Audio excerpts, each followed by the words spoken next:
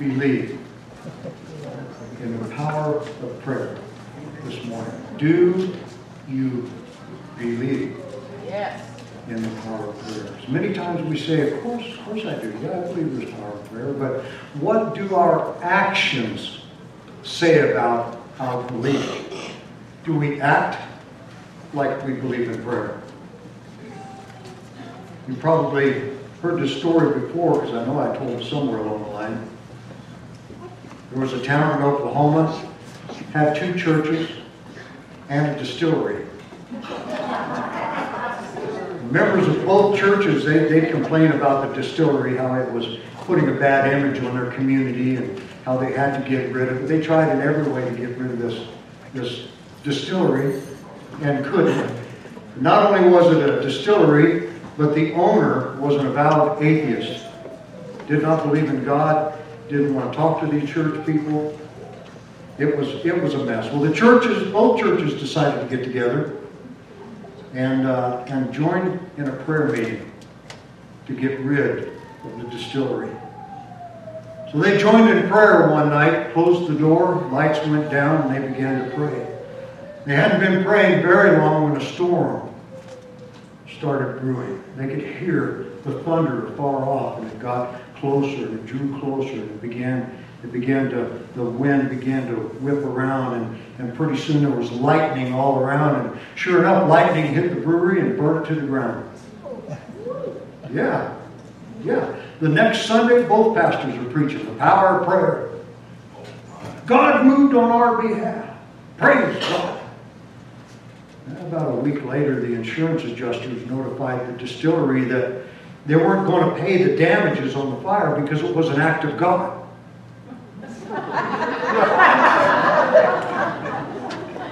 An act of God wasn't covered in the policy. So he decided to sue the churches, claiming that they conspired with God to destroy his business, but both churches denied that they had anything to do with burning down the, the distillery. The judge opened the court proceedings with these words. He said, I find one thing in this suit most perplexing. We've got a situation here where the plaintiff, who is an atheist, is professing his belief in the power of prayer. While the defendants, all faithful church members, are denying the power thereof.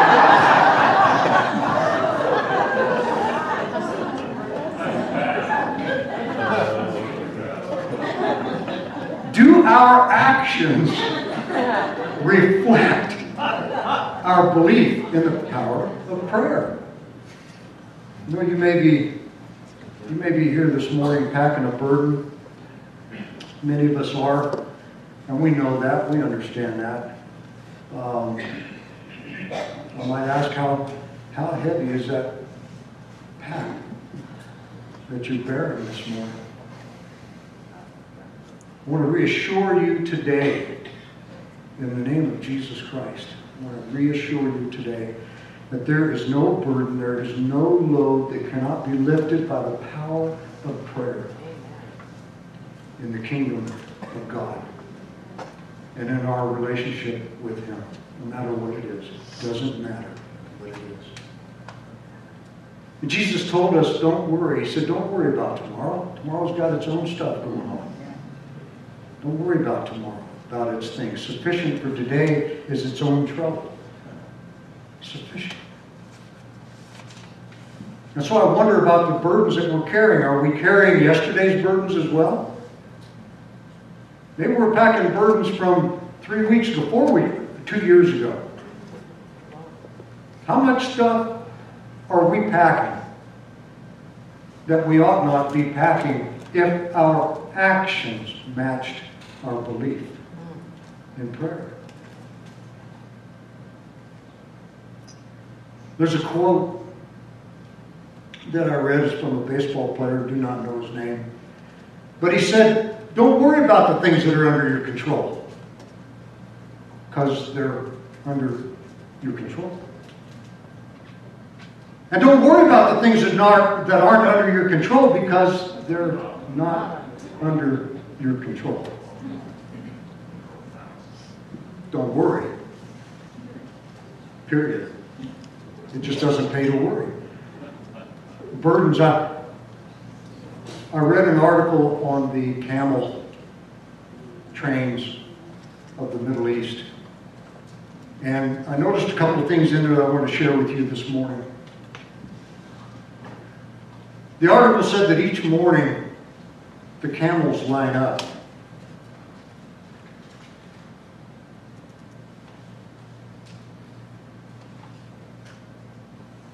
They would be brought up one by one, and they'd kneel before the master packers of the, of the, of the group, and they would have their burden for the day put on them. They'd put a pack on them, they'd strap what they're carrying, that burden for the day.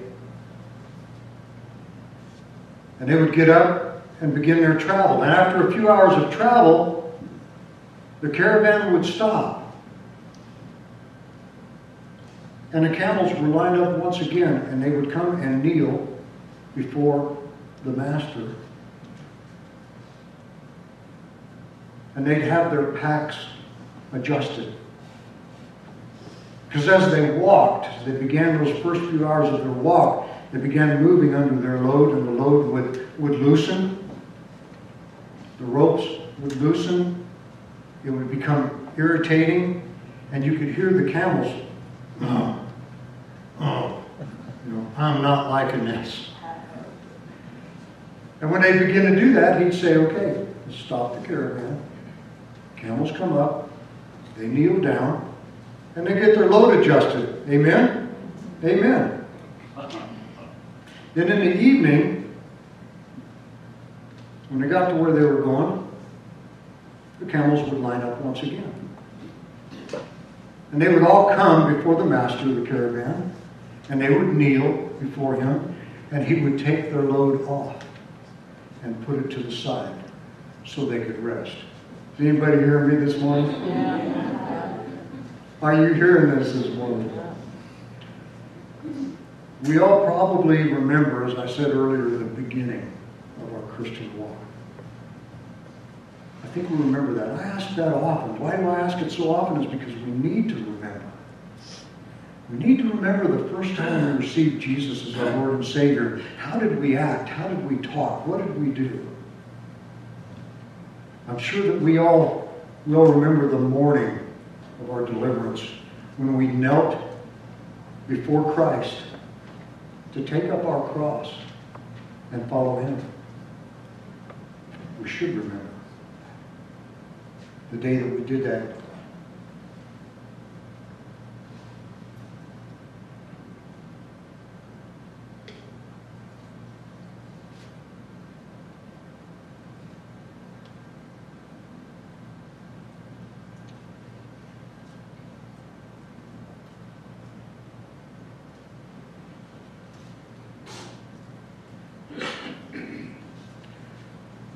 Somewhere along the line, we need to come to a place where we no longer accept our burdens from yesterday because we've been packing them every day, all day, 24 7, and again the next. We've had no relief. We've taken no break, but we continue to walk over those burdens.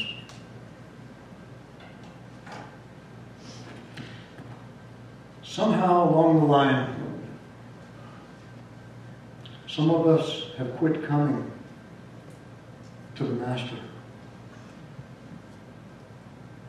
for the relief of our burden. And maybe that's you today. We're just under the burden of the day without, without any help at all. In fact, a, another master, a harsh taskmaster of another caravan, has come into your life and, and taken you hostage and, and set upon you more weight than, than you ever thought you could bear.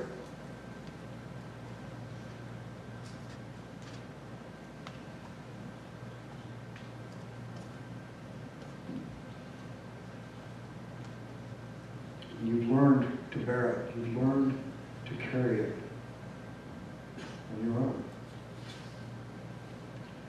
The devil slips extra weight in our backpacks, extra burdens. And we carry them over and over and over until we become weary, we, we become sore. And we begin to groan, but we don't stop. We groan and we become unable to travel the route that God has planned for us. But we don't stop. We continue on. We wind up on our knees, all right.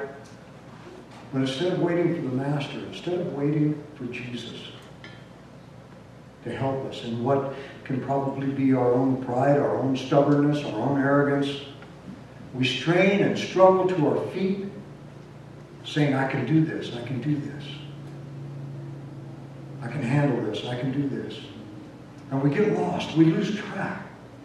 We lose track of where we were going. We lose track of the caravan. We lose track of the church. Where's, where's my church going? I, I, I didn't know they were doing this. I didn't know they were doing that. I didn't know where they were going. And we get lost. We find ourselves with a with a burden that we cannot remove. It cannot, we cannot come out from under it without the help of Jesus Christ, without the help of the Master. We cannot come out from under it. We become tired, we become thirsty, we become weak, we become a pathetic picture of what a Christian should be.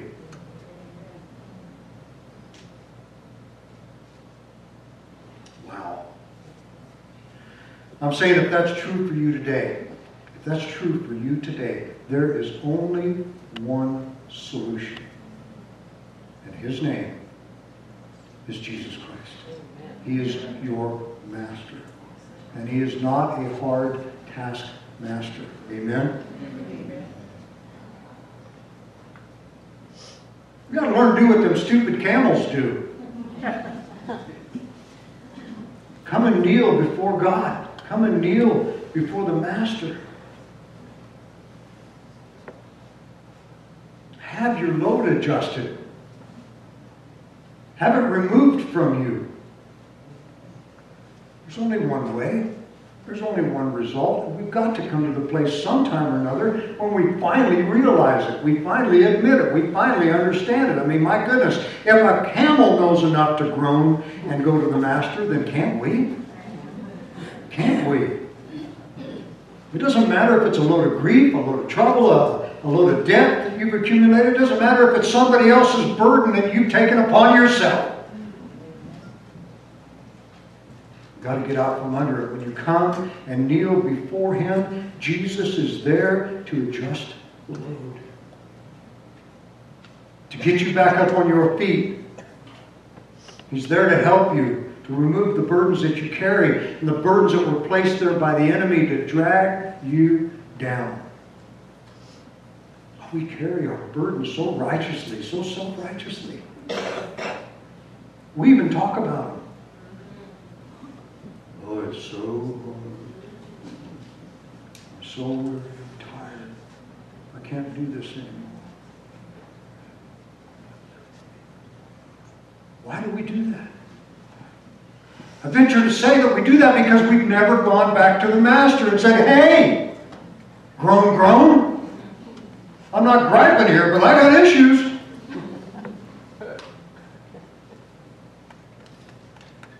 He'll do all of that while we simply kneel in His presence. That's all you got to do. It doesn't take, you don't have to work up a sweat. You don't have to work up this, this pounding, earth shaking prayer. You just need to come and kneel before the Master. That's it. Jesus said, Come to me, all you who labor and are heavy laden, and I'll what? I will give you rest. He said, Take my yoke upon you and learn from me, for I'm gentle. I'm lowly in heart. Come and, and you'll find rest for your souls. My yoke is easy, and my burden is light. And we look at Jesus, my goodness, he was carrying the weight of the world on his shoulders. Oh, or was he? Oh. Hmm, good question. When was the last time, you ask yourself this question, when was the last time that evening came and you knelt, you knelt before the Master, Jesus Christ? When was the last time you came and knelt before your Master and waited? Shut up and wait. And waited before Him. And waited for him to remove the cares and the burdens of the day and lay them aside and then give you rest. There's people that can't sleep. I can't sleep because everything's going on.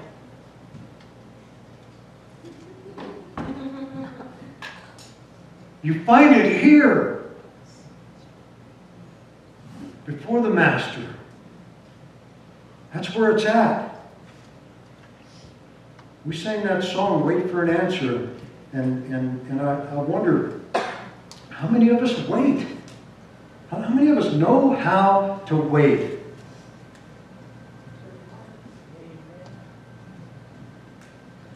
You know, one of the greatest revivals this country ever saw was because some men went in the barn, shut the door, and told God they were going to wait there and die unless revival came. They weren't leaving that barn. They said, that's it, we're done. Lock the door. If God doesn't show up, we'll die right here. They had a burden and they had to wait. And guess what? Guess what? God showed up. Woo! Really? Yes, he did. Yes, he did. He showed up. Jesus is our example, amen? then we've got to look to him, okay? One, one of the things we always see in the scriptures was Jesus went away and prayed. Jesus went away and prayed. Jesus went away and had alone time with God. Jesus went away. He waited on God. He was the Son of God, amen? And yet, he was one with the Father, amen? Amen. He's one with the Holy Spirit, amen? Come on, somebody, help me out here. It's amen. He did. He did. And yet he found it necessary to go to a place of solitude and pray. Woo! Jesus began his day in prayer. The Bible says, rising up, rising up long while before daylight, he went to a solitary place to pray.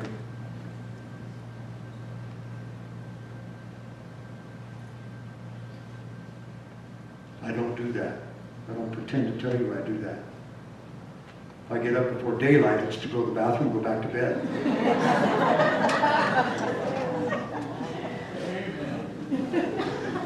Jesus prayed before he made his life decisions. Any decision that he had to make, he prayed about it. He talked to God about it. He conversed with God about it. And then he acted. Amen? Before he continued all night in prayer, the Bible said. He continued all night in prayer before he picked his disciples.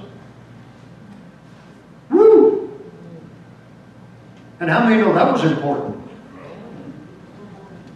You don't want to just walk around and call on the guys you like. Or the guys that you think are likely. You think they're good candidates. None of those guys would have been picked. God cares about you and He cares about me and He cares about every burden that is on your back for the day. He wants to walk it with you and be there with you and to adjust you on the way. Because uh, we carry burdens that can be light.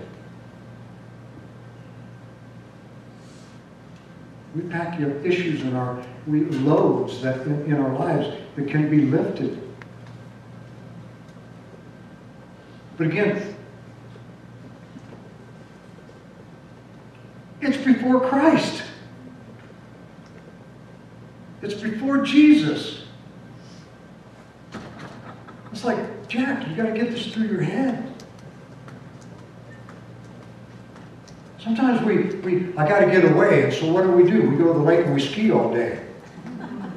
And, then we get home and, oh man, I'm like, down. And I got to do this and I got to do that. I got to get ready for tomorrow. I said, hey, there's rest. Was there any rest involved in that? That's recreating. That's not resting, that's recreating.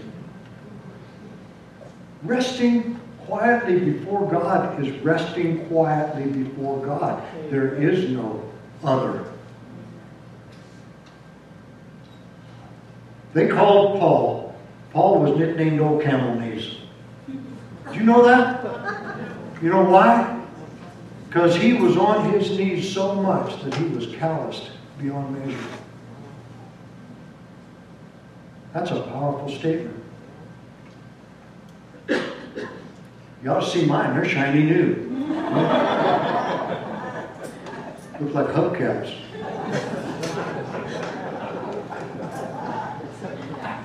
Being busy doesn't cut it. That's not a good excuse. The busier Jesus got, the more he prayed. The heavier the load, the more time he spent in prayer. Amen? Remember when the multitudes came to Jesus to preach? What did he do?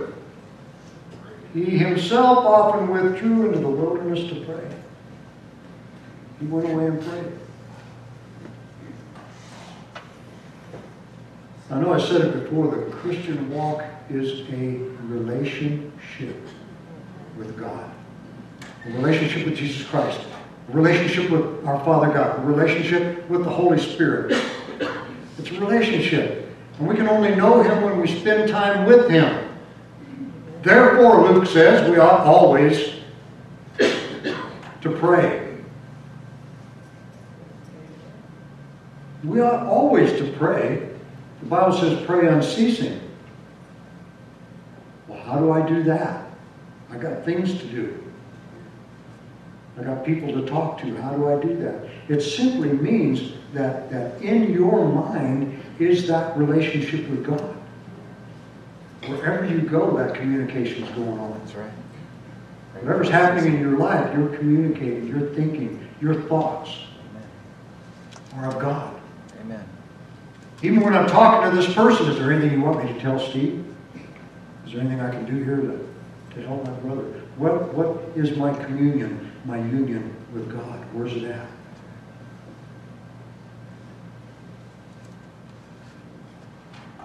Renee. Oh boy.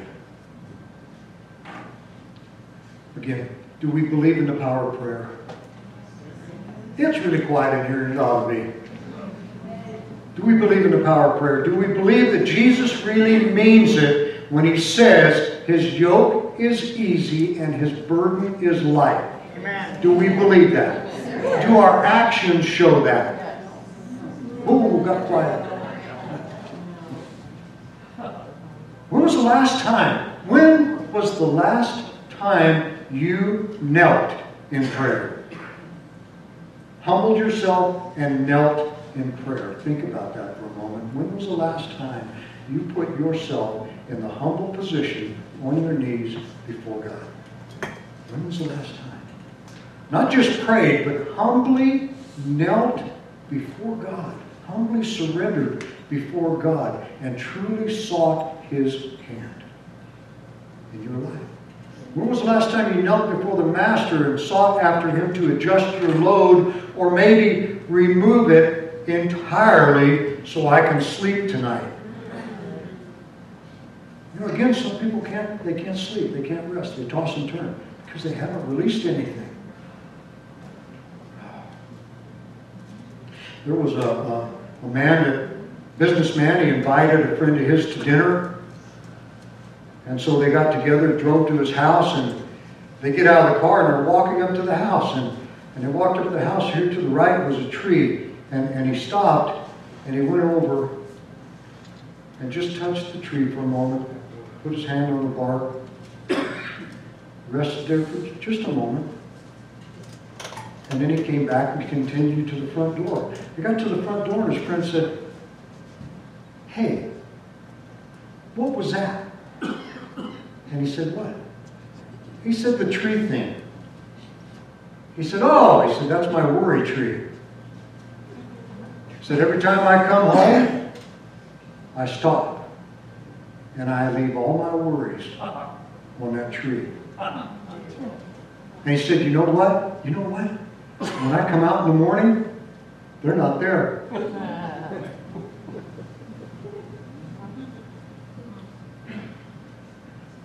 Yeah. Yeah. There was a was driving driving truck, I mean, putting in a lot of hours. And I found out that I could not come home and walk right in the door. It was not a good idea. All week, I have been saying what I wanted to say, stopping when I wanted to stay, stop, eating what I wanted to eat when I wanted to eat it, waking up when I wanted to wake up, and now I got to get rid of that because I'm home. It ain't about what I want anymore. Amen. Amen. And and Denny, Denny had to learn. It's not, hi babe, the furnace. when you were gone, the water, the fences. I had to take time to unload, to, to unwind to release what I had been packing every day, every day of the week. Amen? My goodness. When was the last time you did that? Because Jesus said, don't worry about tomorrow. Tomorrow's got its own stuff, so you better leave today's stuff where it's at, or you're going to have today's stuff on top of tomorrow's stuff. Some of us not only pack yesterday's stuff, we're packing stuff that ain't till next week. Oh, look at my calendar. We're packing things that, that have never happened. That, that many times don't ever happen. Because my life changes so drastically between here and there. And, and, yet, sitting here worrying about next week. Gee whiz, Jack, give it a break. Give it a break. So don't worry about tomorrow. And this day is done. Come up, brother. I want some music here because I want to I want to ask you something this morning. I want to ask you something this morning. I'm going to ask if you want if you want prayer this morning. And I know why God put this message on my heart.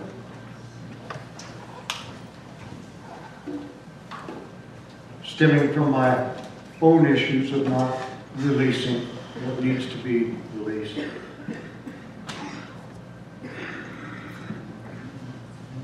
How long has it been since you knelt before me You know, I grew up in the Catholic Church. What was interesting about that church, there's kneelers everywhere. They even got little personal kneelers up at the altar where you can just come in, leave everybody behind, get right over here on this kneeler and kneel down and just be alone with God.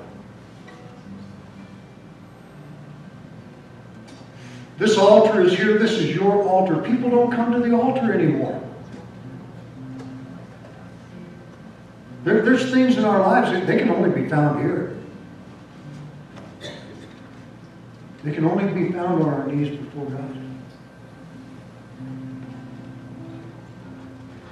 I thought about bringing kneelers in and putting a kneeler on each side, but I figured they'd just get dusty.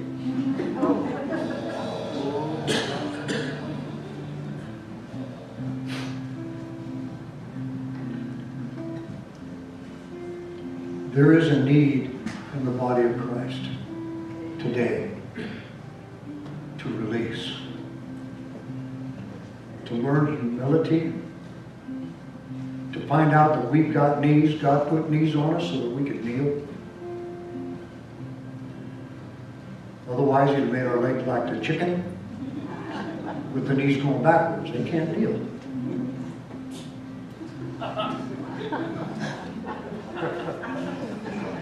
Oh, we're going, we're going theologically deep now.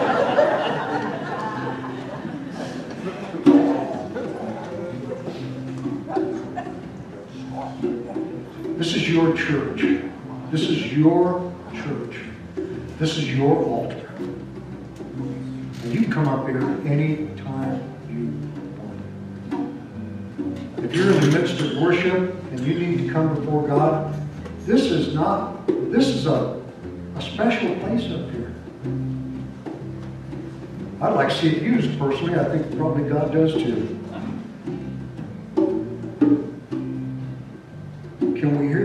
Sometimes when we come to church, we're, we're wearing this, this mask and, and we're, we're laughing and joking and, and inside, inside we're dying.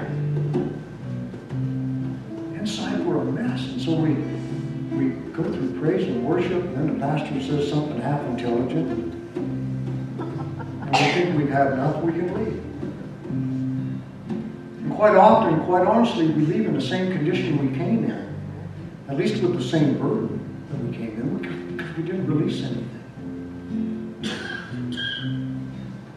I want to invite you right now, if, if you want to pray, and I invite you to come up to this altar right now, submit yourself to God, and deal with some of those issues that are on your mind. It's a time. It's a time.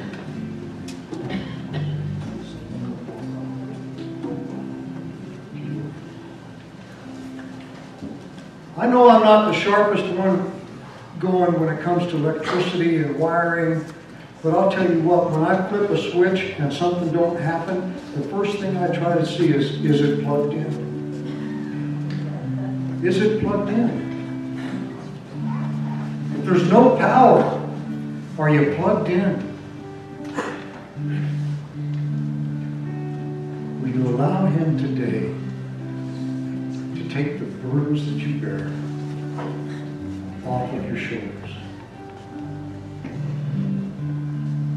If there's no room at the altar, you can kneel up here. You can kneel right where you're at. Kneel down wherever you're at. It should be a regular, a regular position for the body of Christ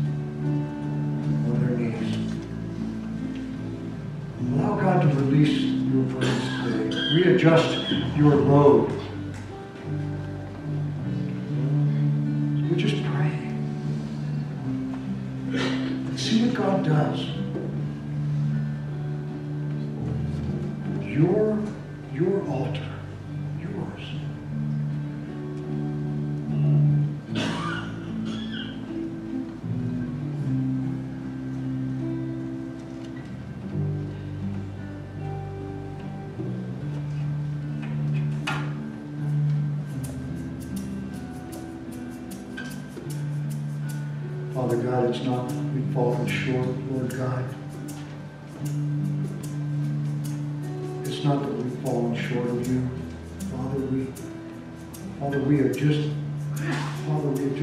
Fallen of ourselves.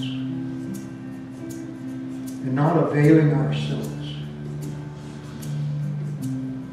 of the hand of the Master, Lord God. Father, I pray in Jesus' name, Lord God, that all of these people here, Lord God, all of us, Father, even those who are thinking, man, I wish I was up there, but I just can't. Father, even those,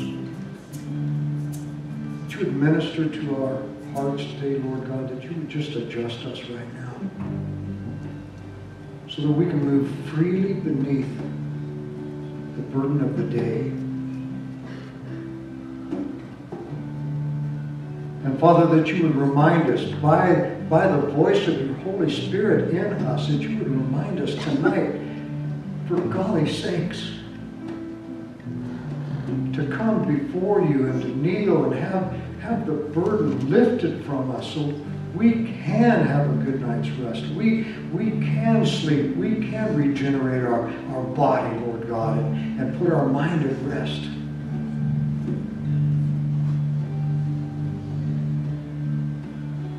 Father God, show us that, that we've got a, we, we can have a, a, a worry tree, a worry brick, a worry rock, a, a worry car fender, a worry something, Lord. So that when we come home at night, burdens of the day do not come in the house with us. There's no place for them there. Father, that we can, anytime we want, come to your altar to pray. Father, I pray in the name of Jesus that would take place today, Father. Lord, that as we leave, as we walk out those doors, Father,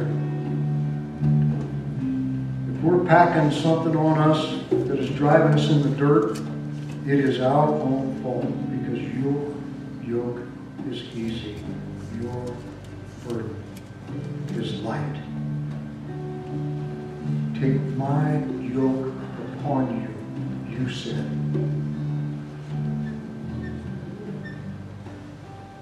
Trade in our yoke for yours, Lord God.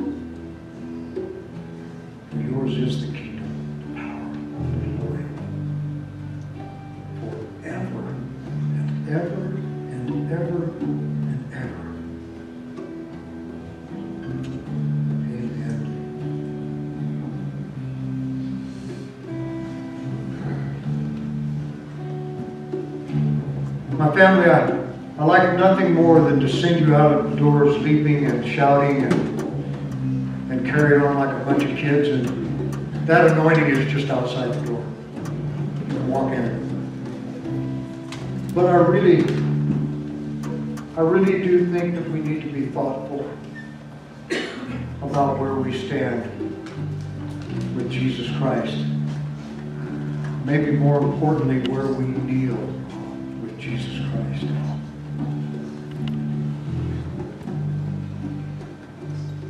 Try to make kneeling before Him something new. If it's something you don't do today, try try to bring that into your life. Try to come before the Lord kneeling quietly before Him and asking Him to lift If you're one who, who has disturbed rest, who, who can't sleep, I suggest you try that. I suggest you kneel before God and release those things to Him. Let Him take that load from you, for tomorrow has a load of its own.